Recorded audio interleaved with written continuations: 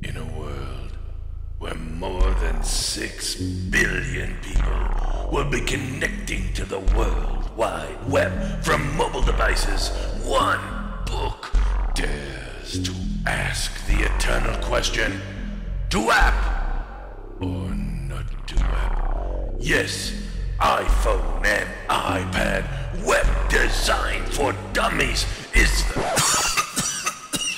Are you okay? Oh, yeah. Sorry about that. It's just that we get really excited about the mobile internet. We're total geeks. We totally are. I'm Janine Warner, And I'm Dave LaFontaine. and together we wrote Mobile Web Design for Dummies. And iPhone and iPad web design for dummies. This video is about helping you appreciate the difference and why iPhone and iPad Web Design for Dummies is about the latest, most cutting edge websites you can create for the hottest platform on the market.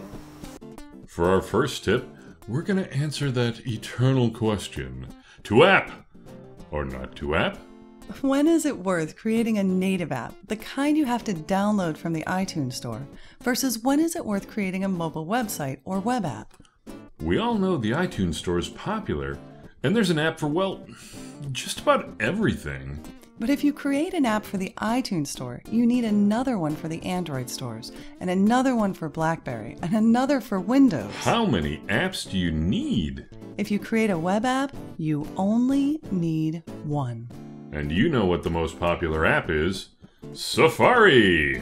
That's right, the Safari web browser comes installed on every iPad and iPhone, making it easy to surf the mobile web right out of the box. You can create mobile websites for Safari that are increasingly interactive and app like, such as Flickr.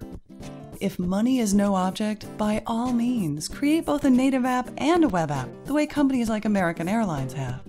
But many smart companies, like Ford Motors, have found that creating one interactive mobile website is a cost effective way to reach the broader mobile audience. In iPhone and iPad Web Design for Dummies, we show you how to create optimized mobile websites.